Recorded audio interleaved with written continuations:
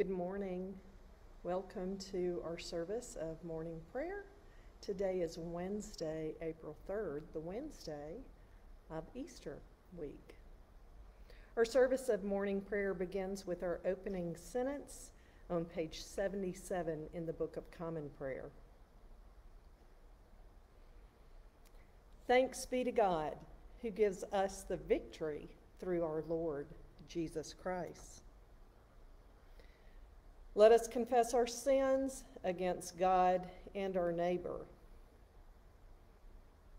On page 79. Most merciful God, we confess that we have sinned against you in thought, word, and deed, by what we have done and by what we have left undone. We have not loved you with our whole heart. We have not loved our neighbors as ourselves. We are truly sorry and we humbly repent. For the sake of your Son, Jesus Christ, have mercy on us and forgive us, that we may delight in your will and walk in your ways, to the glory of your name. Amen. Almighty God, have mercy on us. Forgive us all our sins through our Lord Jesus Christ. Strengthen us in all goodness, and by the power of the Holy Spirit, keep us in eternal life. Amen. Lord, open our lips, and our mouths shall proclaim your praise. Glory to the Father, and to the Son, and to the Holy Spirit, as it was in the beginning, is now, and will be forever. Amen. Hallelujah. Turning to page 83, together let us read the Christ, our Passover, the Pascha Nostrum. Hallelujah! Christ, our Passover, has been sacrificed for us. Therefore, let us keep the feast, not with the old leaven, the leaven of malice and evil, but with the unleavened bread of sincerity and truth. Hallelujah! Christ, being raised from the dead, will never die again. Death no longer has dominion over him. The death that he died, he died to sin once for all. But the life he gives, he gives to God. So also consider yourself dead to sin and alive to God in Jesus Christ our Lord. Hallelujah! Christ has been raised from the dead the firstfruits of those who have fallen asleep. For since a man came death, by a man has come also the resurrection of the dead. For as in Adam all die, so also in Christ shall all be made alive. Alleluia. Our appointed Psalms for the day are Psalm 97 on page 726 and Psalm 99 on page 728. Again, we will begin with Psalm 97 on page 726. The Lord is King. Let the earth rejoice. Let the multitude of the isles be glad. Clouds and darkness are round about him. Righteousness and justice are the foundations of his throne. A fire goes before him and burns up his enemies on every side. His lightnings light up the world. The earth sees it and is afraid. The mountains melt like wax at the presence of the Lord. At the presence of the Lord of the whole earth, the heavens declare his righteousness and all the people see his glory. Confounded be all who worship carved images and delight in false gods. Bow down before him, all you gods. Zion hears and is glad, and the cities of Judah rejoice because of your judgments, O Lord. For you are the Lord, the Most High over all the earth. You are exalted far above all gods. The Lord loves those who hate evil. He preserves the lives of his saints and delivers them from the hand of the wicked. Light has sprung up for the righteous, and joyful gladness for those who are true hearted. Rejoice in the Lord, you righteous, and give thanks to his holy name. Psalm 99. The Lord is king. Let the people tremble. He is enthroned upon the cherubim. Let the earth shake. The Lord is great in Zion. He is high above all peoples. Let them confess his name, which is great and awesome. He is the Holy One. Almighty King, lover of justice, you have established equity. You have executed justice and righteousness in Jacob. Proclaim the greatness of the Lord our God and fall down before his footstool. He is the Holy One. Moses and Aaron among his priests, and Samuel among those who call upon his name. They called upon the Lord, and he answered them. He spoke to them out of the pillar of the cloud. They kept his testimonies and the decree that he gave them. O Lord our God, you answered them indeed. You were a God who forgave them, yet punished them for their evil deeds. Proclaim the greatness of the Lord our God and worship him upon his holy hill, for the Lord our God is the Holy One. Glory to the Father, and to the Son, and to the Holy Spirit, as it was in the beginning, is now, and will be forever. Amen. Our first reading today comes from the book of Exodus, the 12th chapter, verses 40 through 51.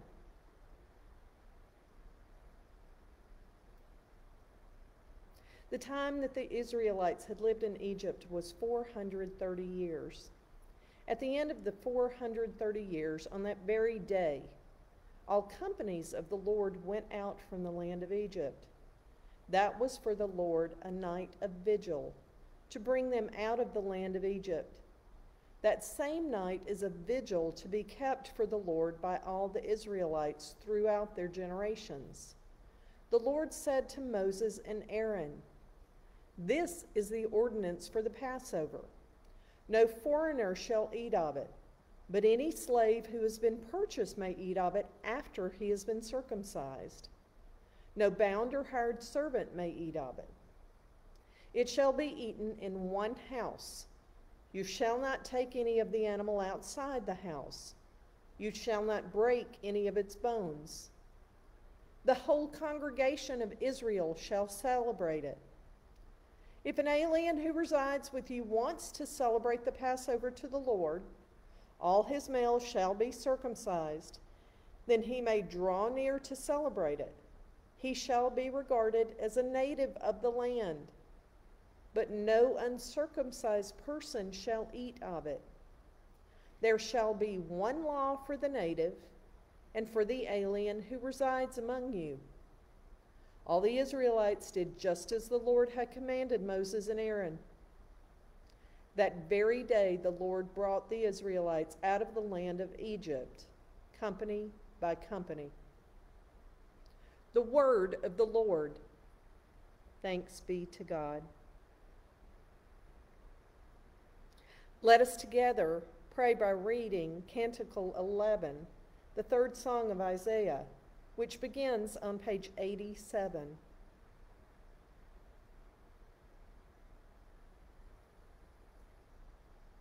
Arise, shine, for your light has come, and the glory of the Lord has dawned upon you. For behold, darkness covers the land, deep gloom enshrouds the peoples. But over you the Lord will rise, and his glory will appear upon you.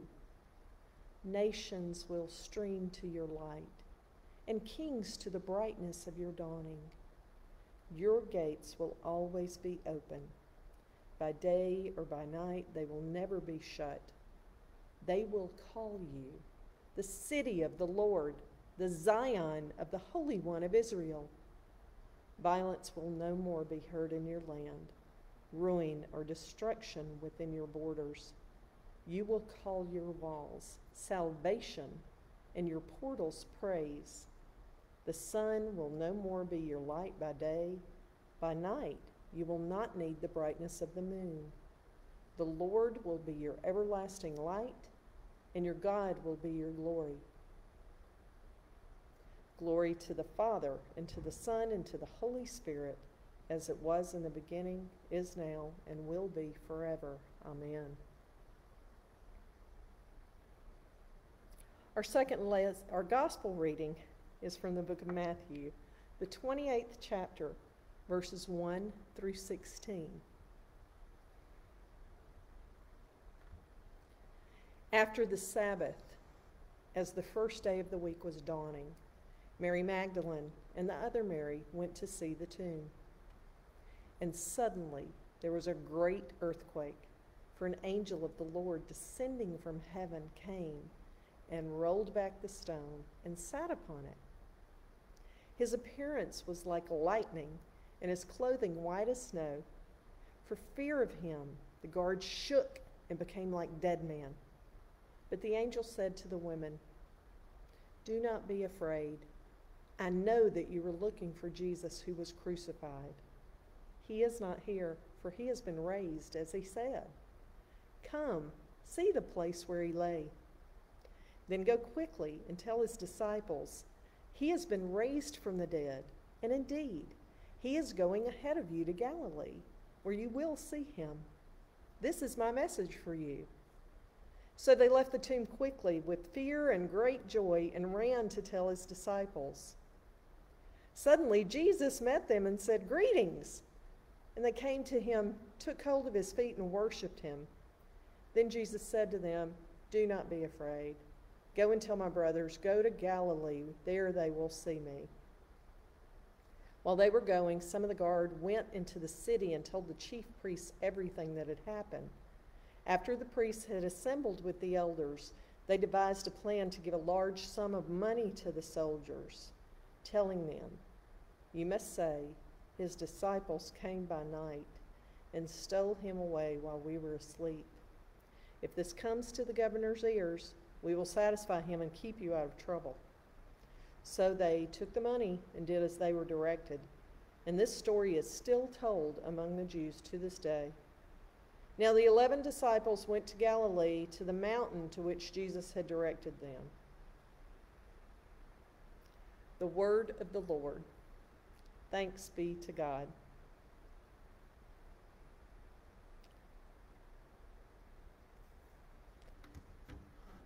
Well, y'all, here we are. We made it to Easter. What a beautiful handful of celebrations we had here at Holy Comforter. The great vigil of Easter, our Easter sunrise service, our brunch, and then our Holy Eucharist after. Hallelujah! Doesn't it feel great to be able to say that? Hallelujah, the Lord is risen. Now, the resurrection accounts that we have across the four Gospels, they have similarities and differences. They're similar in a few things. In each case, they happen on a Sunday morning. And so that is from Good Friday, the crucifixion, forward two days. That's where we land on that Sunday morning. Mary Magdalene is present in each one at the tomb. And the tomb, thanks be to God, glory be to Jesus Christ, the risen one. The tomb is always empty across each of the narratives, of course. But there are differences. In the synoptic gospels, which we've talked about why they're synoptic, the women arrive at the tomb early in the morning. So each one of those three, it's either um, just at dawn or after the sun has risen, but in the Gospel of John, it's still dark. There's a difference in the number and um, the accounting of which of the women were present, with the exception of Mary Magdalene, like I said. In Matthew's account, there are only two women. It is um, what we hear in that one, it is Mary Magdalene and the other Mary. Mark, in his account, names three. Luke also names three, but adds that others had accompanied them to the tomb. And then in the Gospel of John, he names simply Mary Magdalene. And then finally, there is a little bit of difference concerning the placement of the stone at the doorway. In three of the Gospels, the stone had already been rolled away prior to the approach of the women. As we heard this morning in the Gospel of Matthew, there was an it, it was the exception. There was an earthquake that took place, and then an angel descends and rolls the stone away and sits upon it. And clearly, it is impossible to harmonize these details to everyone's satisfaction. And so, there, as we talk about in these commentaries on Wednesday mornings, um, you know, it, it really isn't um, necessary. No one, the Bible was never intended to be a history book, nor did anybody have a video camera.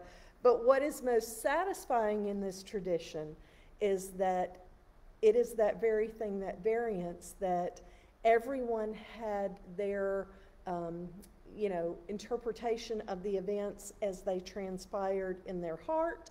They had their local church context um, based on how this retelling developed over the years. And then, while, as we know in biblical scholarship, while Matthew and Luke depended on that Gospel of Mark um, for the writing of their Gospels in general, they arrived at their Eastern narrative using the stories that they had passed down from their local communities. Now, one of the things that's really amazing and strikes that passion in our heart for the stories of the early church and our Lord and Savior is that this um, Matthew's account is the most dramatic. So Mary Magdalene feels compelled to go to the tomb. There's really no reason given for that. Here's an earthquake taking place as she is there, and an angel appears and that rolling away from the tomb, uh, from the stone from the tomb, and you have all of this dramatic, um, you know, miraculous, dramatic uh, uh, things happening, and then he just sits there, or angels non-gendered. Then the angel just sits there, and so when that when that is happening, an angel appears, the earthquake is happening, the stone rolls away you know, we've just had the story of Lazarus recently, and so as you hear the storytelling, we've heard it so many times, so, you know, spoiler alert, we know what's going to happen. But in the early retelling, you know, do they almost expect, like Lazarus does, that someone, something, Jesus is going to come out of that tomb, and then the message is given. And so the resurrection has already taken place. He is not there. Um, the tomb had been sealed, remember? The tomb is empty. And so we don't really have a resurrection account here. We have a post resurrection account. The transformation from the physical to the, the, the resurrection and the spiritual has already happened.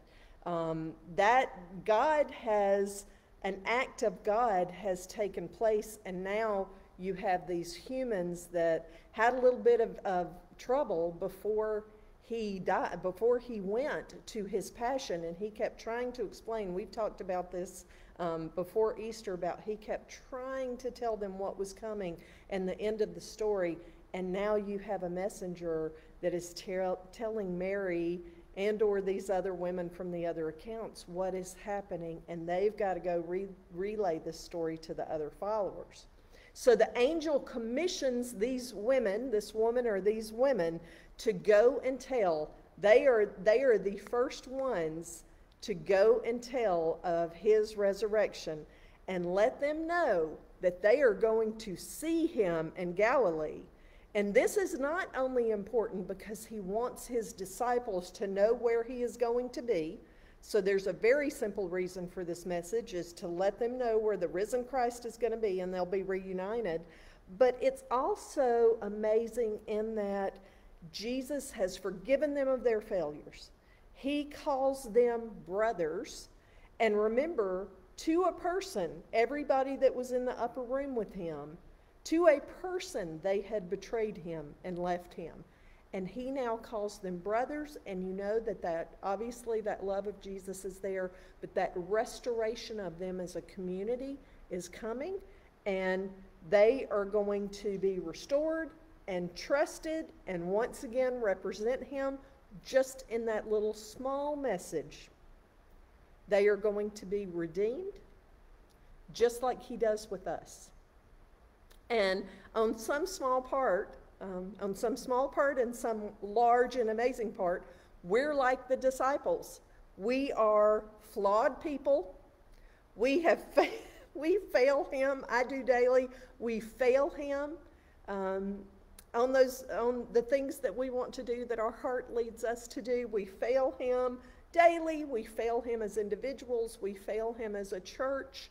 Um, you know, in the same way that they, when they were tested and they fall short, we fall short. But Jesus continues for those that love him and believe in him, and we are his and we are his children, um, and we follow him. He is going to call us brothers and sisters. He is going to continue to redeem us and trust us, and we are going to represent him and this is a beautiful story and such a small message that was given. Um, here is where I'm going to be. Go and get my brothers, sisters, children, and I'm going to meet them there. And that's exactly the message for us in Easter. We are redeemed, we are restored, we are entrusted, we are His. Thanks be to God. Hallelujah! And hallelujah that we are at the season to do that again. Amen. Let us together join in the Apostles' Creed on page 96. I believe in God, the Father Almighty, creator of heaven and earth. I believe in Jesus Christ, his only Son, our Lord. He was conceived by the power of the Holy Spirit and born of the Virgin Mary. He suffered under Pontius Pilate, was crucified, died, and was buried. He descended to the dead. On the third day, he rose again. He ascended into heaven and is seated at the right hand of the Father. He will come again to judge the living and the dead. I believe in the Holy Spirit, the Holy Catholic Church, the communion of saints, the forgiveness of sins, the resurrection of the body, and the life everlasting. Amen.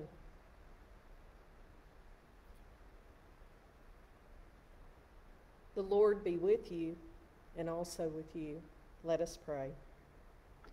Our Father, who art in heaven, hallowed be thy name. Thy kingdom come, thy will be done, on earth as it is in heaven. Give us this day our daily bread, and forgive us our trespasses, as we forgive those who trespass against us. And lead us not into temptation, but deliver us from evil. For thine is the kingdom, and the power, and the glory, forever and ever. Amen. We will pray suffrages A. Show us your mercy, O Lord, and grant us your salvation. Clothe your ministers with righteousness. Let your people sing with joy. Give peace, O Lord, in all the world for only in you can we live in safety. Lord, keep this nation under your care and guide us in the way of justice and truth. Let your way be known upon the earth, your saving help among all nations.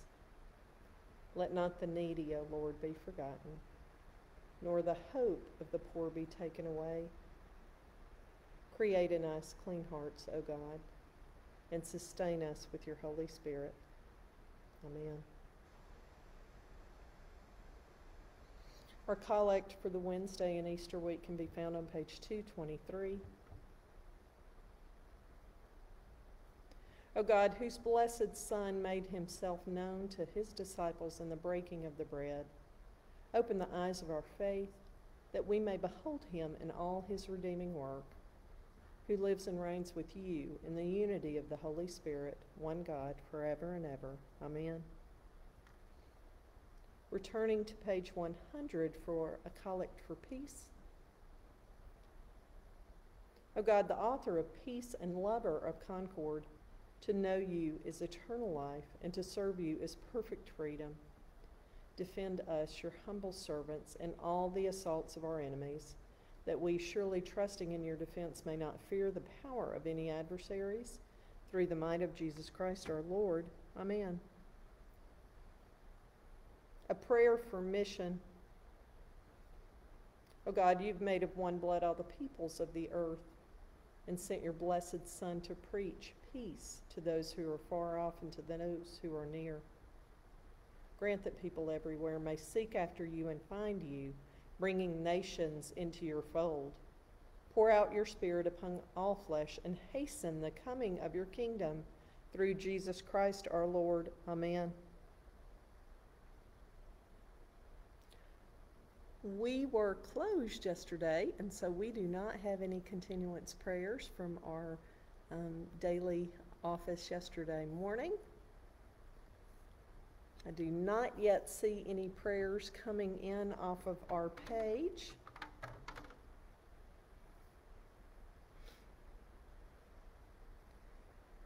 So at this time, we will continue to lift the prayer needs found in our weekly service bulletin.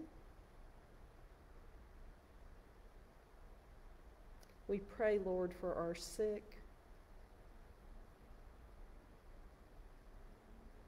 Celeste, Elaine, Roger, David, Walter, May, Cynthia, Lee and Bonnie, Urban Rhonda, Chris, Russell and Marcy, Aaron,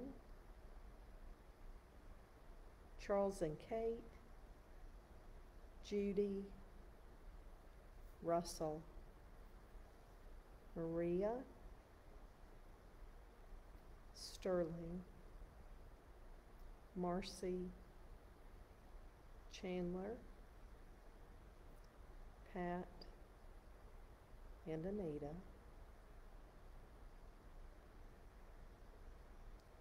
We also pray, Lord, for Melissa.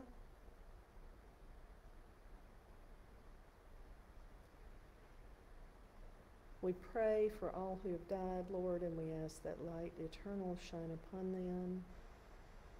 We pray for Anne and for her family. We lift up those, Lord, who serve in the military and ask for intervention in their safety, especially Matthew and Hayden.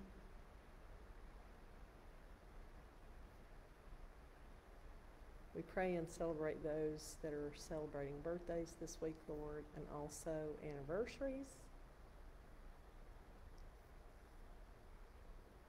We pray, Lord, for our national church for the health of our presiding bishop, Michael,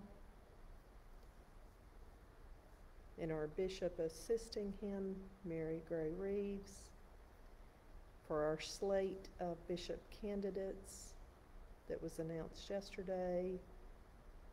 We pray for our Diocese of Florida, for our standing and steering committees, and for our assisting bishops. Bishop Ben Hayes and Bishop Stokes. We pray for our local church, for our vestry, lay leaders, our clergy and staff, and for all of our upcoming events. We pray for Holy Comforter Episcopal School, for our students and teachers and staff and administration, for their um, event today their Easter Eucharist, Father.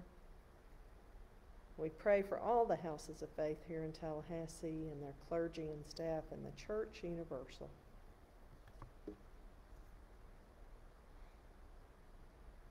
Let us together join in the general thanksgiving found on page 101.